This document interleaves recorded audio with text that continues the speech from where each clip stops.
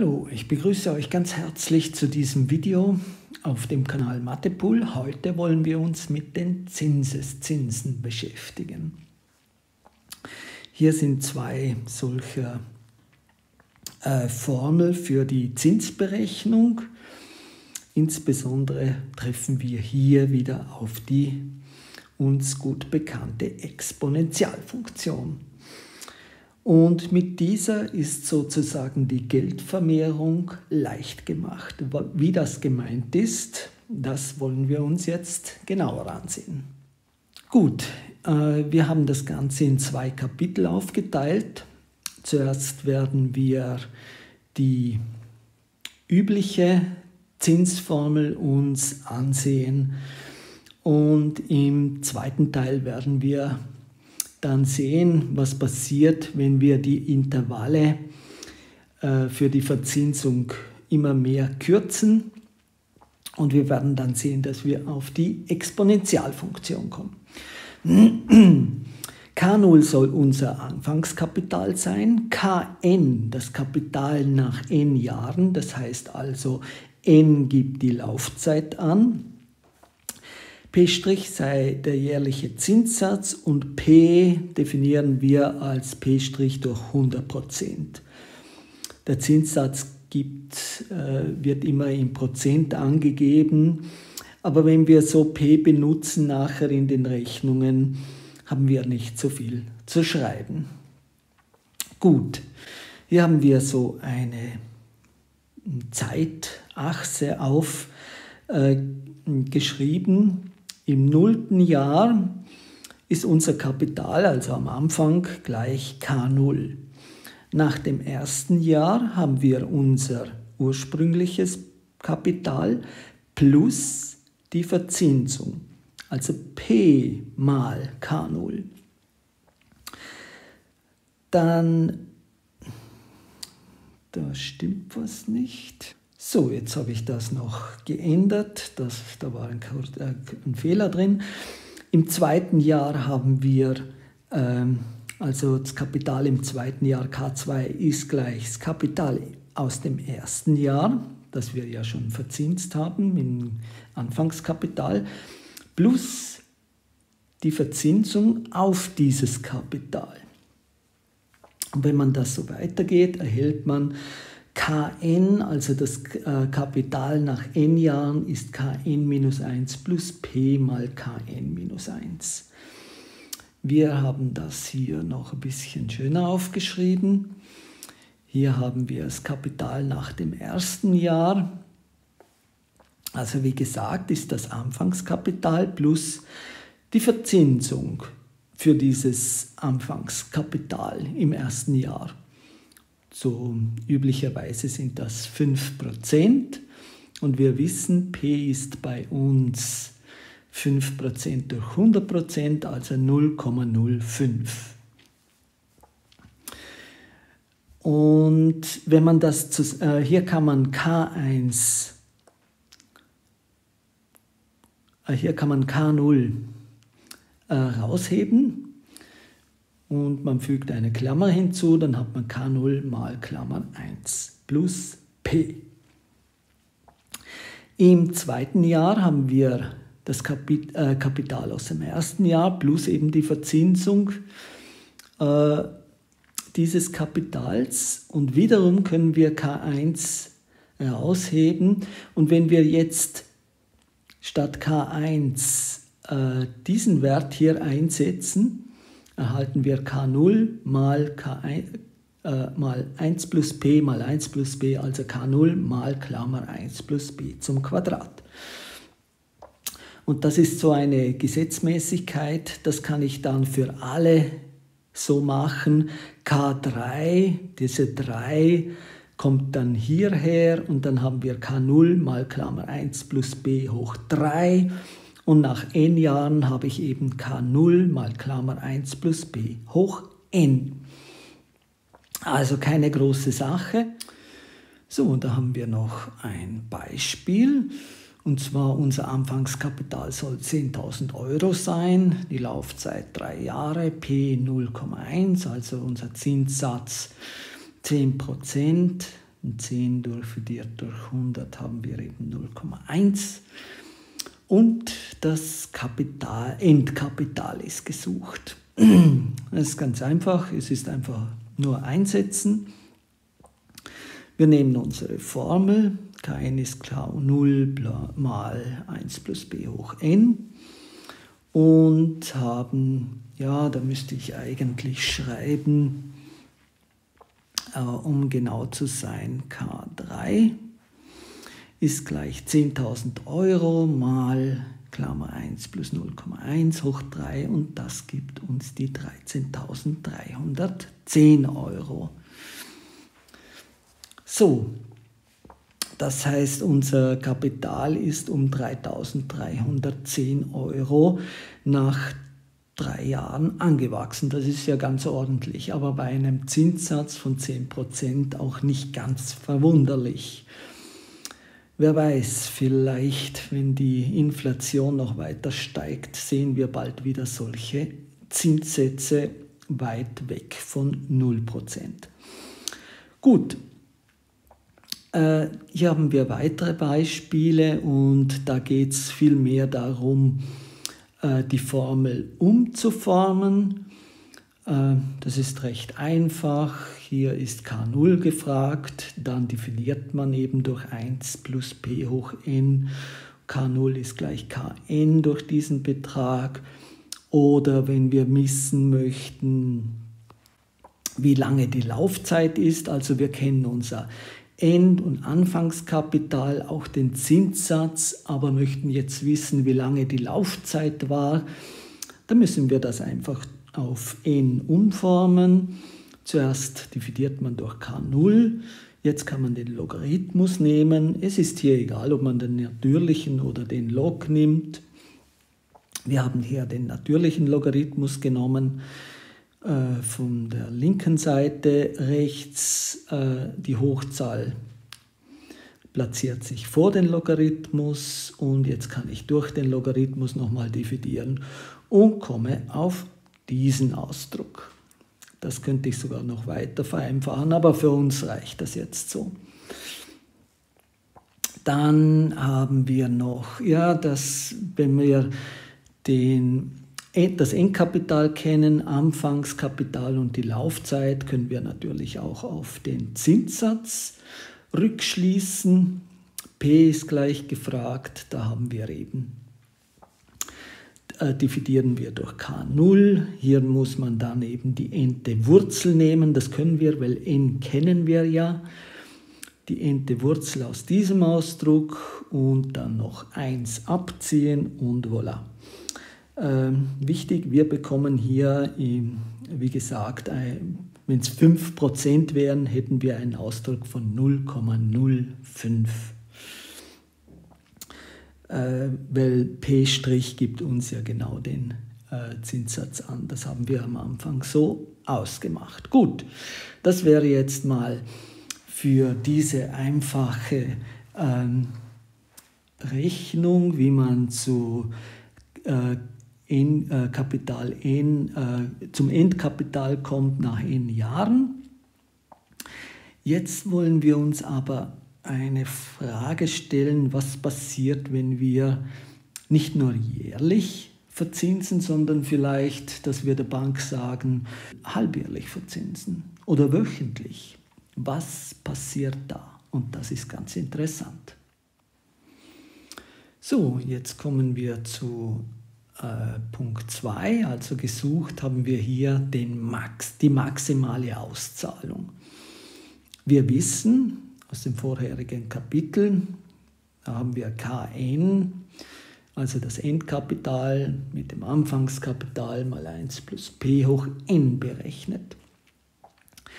Diesmal nehmen wir an, p sei 1. Das heißt, b' ist 100%. Also wir bekommen aufs Jahr 100% äh, Zins. Das ist natürlich kaum realistisch, aber für die Berechnung, wo wir jetzt machen, ist es viel einleuchtender und ähm, das Verständnis ähm, und fürs Verständnis besser. K0 nehmen wir an, wir haben 1 Euro Anfangskapital. Ist die Verzinsung jährlich, dann haben wir, wie wir vorhin gesehen haben, K1 gleich K0 plus 1 mal K0 ist gleich 2 K0 und das sind 2 Euro. So, Jetzt stellen wir uns die Frage, also wir sind ja auf der Suche nach einer maximalen Auszahlung. Wir können nichts mehr am Zinssatz ändern, wir können äh, das Anfangskapital nicht ändern, äh, die Laufzeit auch nicht, aber wir können das Intervall der Verzinsung ändern. So, da kommen wir zu unserem ersten äh, Beispiel dazu. Wir sagen uns, okay, äh, wir sehen uns die ganze Geschichte mal an für eine halbjährliche Verzinsung. Wir wissen, P ist gleich 1. Was ist jetzt damit P1,5 gemeint? Also P, die äh, Verzinsung im ersten Halbjahr ist ein halb. Also wenn man es umdreht, eben 50 Prozent und im zweiten Halbjahr ebenfalls ein halb. Nochmal die 50 Prozent zusammen gibt ein halb plus ein halb eben das Ganze oder eben 100 Prozent und damit ähm, wollen wir uns das mal hier auf der Zeitachse ansehen. K0, hier sind wir mit K0 gleich 1 plus b halbe und K2, also im zweiten Halbjahr ist das zum Quadrat. Gut, äh, wir sehen uns das hier an und äh, bemerken, ah ja, das ist tatsächlich gestiegen. Also K1 ist K0 mal 1 plus p halbe Quadrat und wir sind auf 2,25 Euro gekommen. Das ist ein Viertel Euro mehr als bei der jährlichen Verzinsung. Okay, jetzt sehen wir uns das mal an, wie es aussieht bei einer monatlichen Verzinsung. Monatlich wiederum gehen wir von, äh, davon aus, p gleich 1, also aufs Jahr gerechnet gibt's, muss es unsere 100% geben und die verteilen wir jetzt auf in zwölf Monate. Also gibt es immer einen Zwölftel, zwölf mal ein Zwölftel gibt eben ein Ganzes. Und wir starten hier und nach äh, dem ersten Monat zahlt uns die Bank diesen Betrag aufs Konto. Beim zweiten Monat wird dieser Betrag jetzt schon wieder mit einem Zwölftel verzinst und so weiter. Und wie wir im ersten Kapitel gesehen haben, wenn wir das äh, einbezahlte Kapital äh, Kapital immer wieder verzinsen, kommen wir eben auf diese Formel K0 mal Klammer 1 plus P 12 hoch 12. In diesem Fall, weil wir ja 12 Monate haben. So, wenn ich das ausrechne, K1, also für ein Endkapital nach einem Jahr, haben wir unseren Euro mal 1 plus ein Zwölftel hoch 12 und wir haben 2,61 Euro. das ist ja schon äh, ordentlich viel mehr als die 2 Euro, wo wir da bei der jährlichen Verzinsung hatten. Ja, wenn das so gut klappt mit den Monaten, dann probieren es, wir es wöchentlich. Und auch da wöchentlich. Da haben wir natürlich 52 äh, Wochen. Ähm, jedes Mal ein 52. 52 Mal.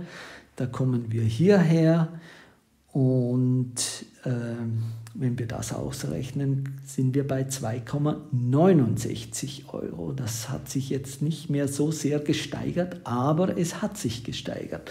Offenbar kommen wir langsam an unseren Grenzwert. Ja, wenn man das jetzt täglich macht, äh, tägliche Verzinsung, haben wir ein 365.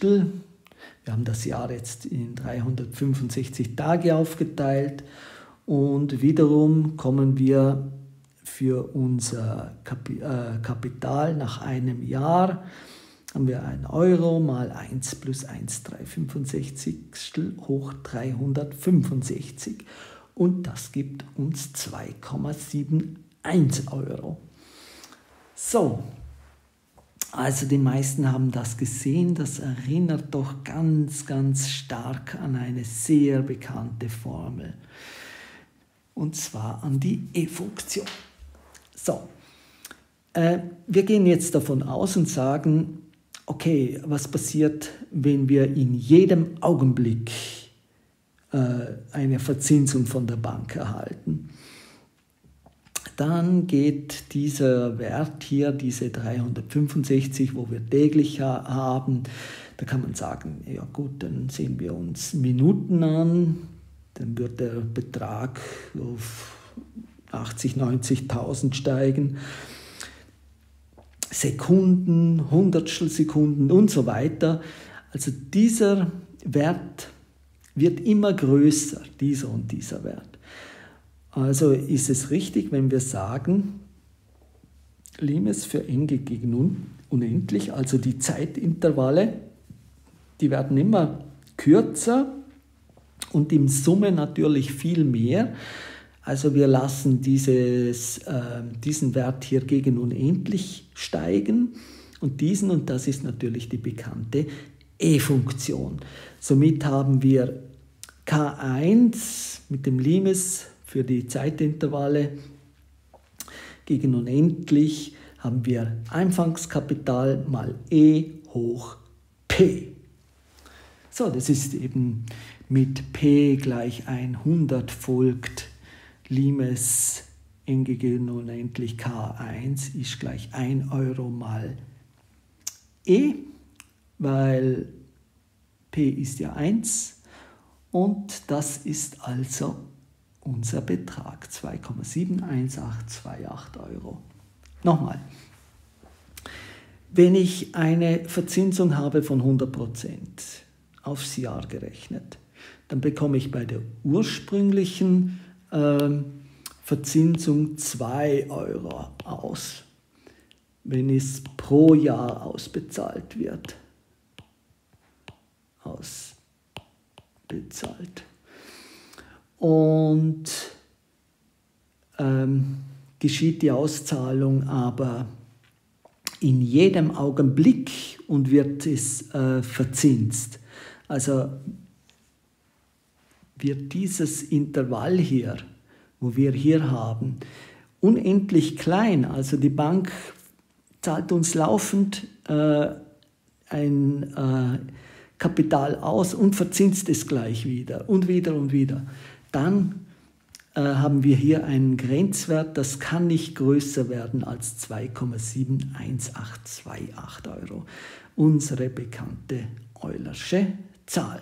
Da sehen wir wieder, wie wichtig die, diese Zahl ist. Die kommt wirklich an äh, sehr äh, vielen, äh, in vielen Situationen zum Vorschein. So auch hier. Und 2,71828 Euro minus 2 Euro, das sind doch immerhin 0,71828 Euro.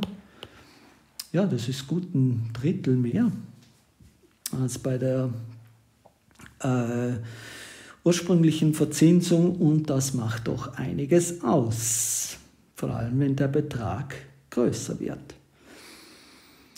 So, wir haben das hier nochmal aufgeschrieben. Angenommen, wir bekommen einen Zinssatz von P100, Kapital 1 Euro sein. Wir halten genau dann ein Maximum an Auszahlung am Ende des Jahres, wenn die Bank eben unsere Kapital zu jedem Augenblick verzinst. Das wird sie leider natürlich nicht tun, aber es, wenn das so wäre, müssten wir, müsste sie ein Maximum dann eben auszahlen. Und das ist auch der maximale Betrag. So, jetzt kommen wir noch zu einer wichtigen Beobachtung einer Bemerkung. Äh, in, unseren, in einem unserer Videos äh, auf Mathepool haben wir ja uns mit der E-Funktion schon beschäftigt. Ich glaube im Zusammenhang mit der Eulerschen Identität und da haben wir auch die Herleitung äh, gezeigt. Wie man äh, diesen Zusammenhang noch sieht, das erkläre ich euch jetzt an diesem ähm, Diagramm. Und zwar, wir haben hier das kartesische Koordinatensystem, hier haben wir blau die e-Funktion und wir legen uns eine Tangente an die e-Funktion und zwar ähm, bei x gleich 0, das heißt y gleich 1. Äh, warum? Ja, weil e hoch 0 gleich 1 ist. Gut, äh, diese äh, Gleichung der Tangente ist sehr einfach. Wie gesagt, wir haben hier den Durchstoßpunkt bei 1 das ist diese 1 hier, plus Steigung haben wir 1 mal x. Warum haben wir Steigung 1? Weil ähm, die Exponentialfunktion abgeleitet gibt wiederum die Exponentialfunktion. Das sehen wir hier. Und für, das ist also unsere Steigung und für x gleich 0 haben wir Steigung 1. Und das sind eben unsere 45 Grad. Gut.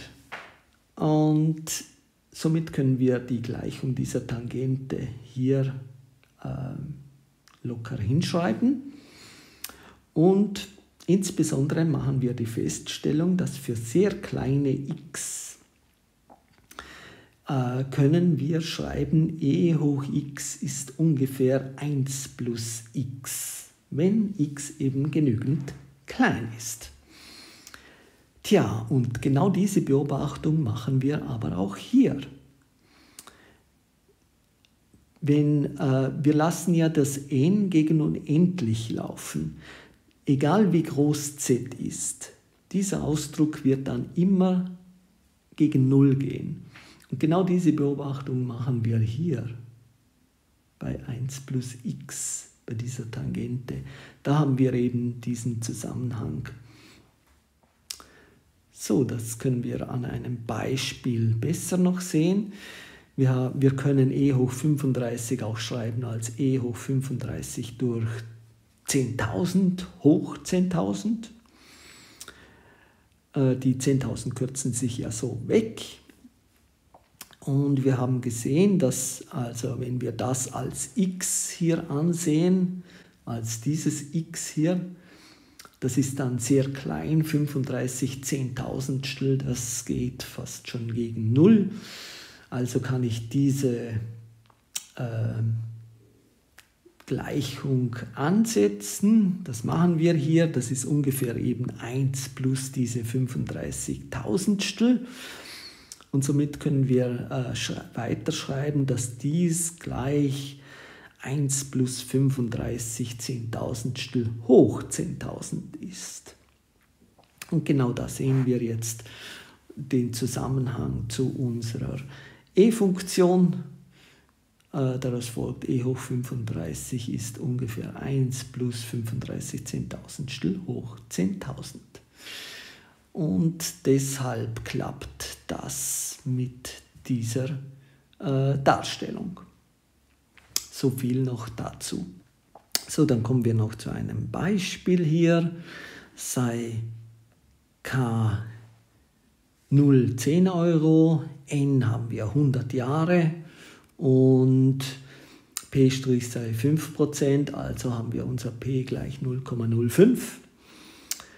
Da haben wir unser Endkapital, wenn wir das so einsetzen, mit 1315 Euro und wenn wir es mit der E-Funktion machen, hier müssen wir natürlich da, wenn wir das mit P machen, äh, n mal P durch n, damit wir auf die Darstellung der E-Funktion kommen und somit haben wir K0 mal E hoch P mal n.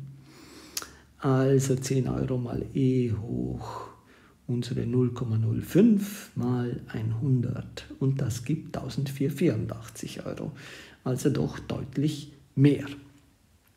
Wenn wir jetzt äh, n auf 500 erhöhen, dann kommen wir schon auf gigantische Zahlen, nämlich auf beinahe 400 Milliarden Euro beim Endbetrag, wenn es 500 Jahre angelegt würde, oder mit der E-Funktion sogar auf 720 Milliarden Euro. Also wenn die, der Betrag laufend verzinst würde.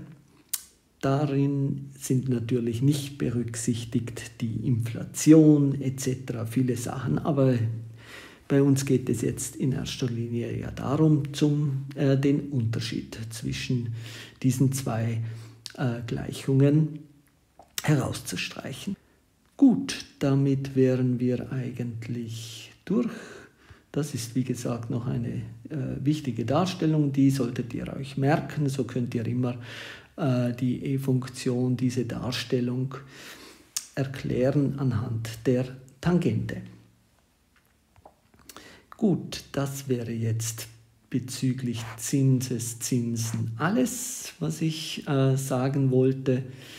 Und vielen Dank, dass ihr wieder zugesehen habt und freue mich, wenn ihr das nächste Mal wieder auf Mathepool dabei seid. Bis dahin wünsche ich euch alles Gute. Adieu.